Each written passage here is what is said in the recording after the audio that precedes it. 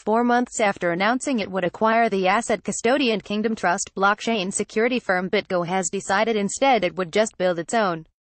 The startup said Thursday that it was seeking a charter to build BitGo Trust, a new, regulated, qualified custodian that will be built specifically for digital assets, according to a Medium post. At the same time, it announced it would no longer proceed with acquiring Kingdom Trust, after approval of the acquisition spent four months in regulatory limbo. This limbo, however, is not what inspired BitGo to build its own trust, marketing vice president Clarissa Horowitz told Coindesk.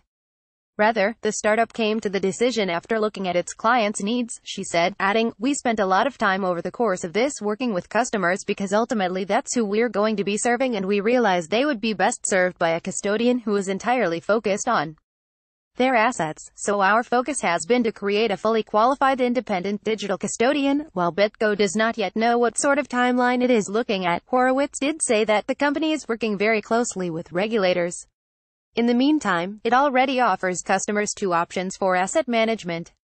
The first option revolves around BitGo's recently announced suite of custodial services, where the company now offers several degrees of custodial services.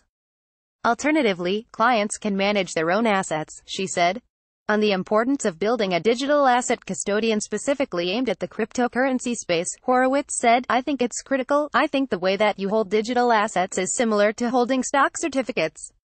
She referred to comments made by BitGo chief executive Mike Belshe, who said in a previous post that custodians make institutional investing possible by providing a level of checks and balances to keep money safe. Bank Vault Door Image via Shutterstock The leader in blockchain news, Coindesk is a media outlet that strives for the highest journalistic standards and abides by a strict set of editorial policies.